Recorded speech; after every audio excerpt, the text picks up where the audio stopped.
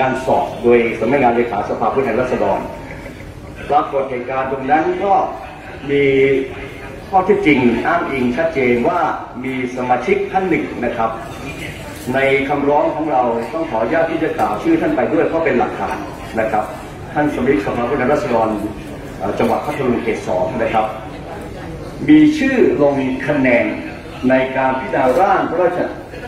งบประมาณรายจ่ายประจำปีนะครับ ตั้งแต่มาตรา 31เป็นต้นไป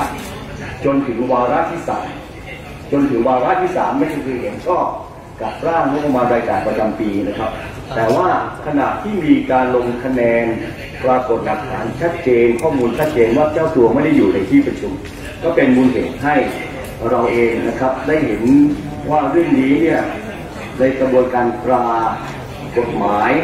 น่าจะไม่ชอบด้วยบทบัญญัติรัฐธรรมนูญซึ่งก็ขอใช้สิทธิตามมาตรา148 นะครับ ซึ่งบัญญัติไว้ว่ากรณีถ้าสสหรือสวนะครับ หรือสองสภาร่วมกันเนี่ยเห็นว่าบทบัญญัติใดของตัวกฎหมายหรือนะครับเฉพาะหรือกระบวนการการตรากฎหมายไม่ชอบด้วยบทบัญญัติรัฐธรรมนูญนั่นหมายว่าทั้งตัวกฎหมายและร่างกฎหมาย ไม่ชอบด้วยบทบัญญัติรัฐธรรมนูญก็ให้เข้าชื่อกันนะครับหนึ่งในสิบของจำนวนทั้งสองสภาก็คือ 750 นะครับขณะนี้เราเข้าชื่อได้ 84 ท่าน ก็ว่าถือว่าเกินตามที่จำนวนที่กำหนดนะครับ ก็ร้องต่อสารรัฐมนูญผ่านท่านประธานสภาผู้แทนราษฎร สิ่งที่เราร้องนะครับหลักฐานตรงนี้ก็ชัดเจนนะครับ เพราะว่าการทำหน้าที่ของสมาชิกสภาผู้แทนราษฎรเนี่ย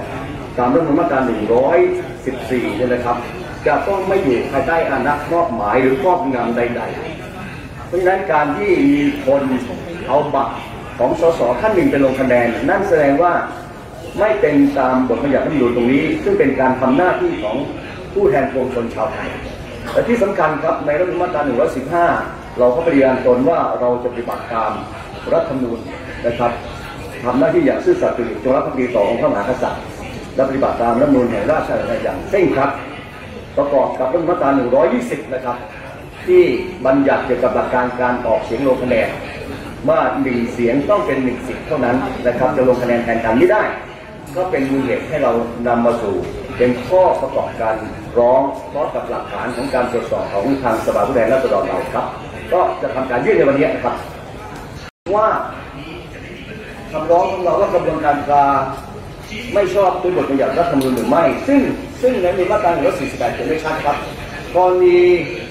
บทบัญญัติใดนะครับ หรือกระบวนการตราร่างบัญญัติใดไม่ชอบด้วยบทบัญญัติรัฐธรรมนูญถ้า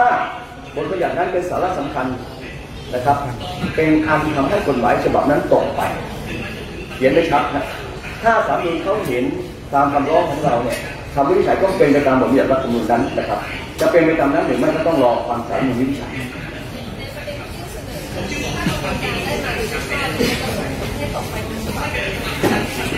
รัฐมนูญเขียนไว้อย่างนั้นครับ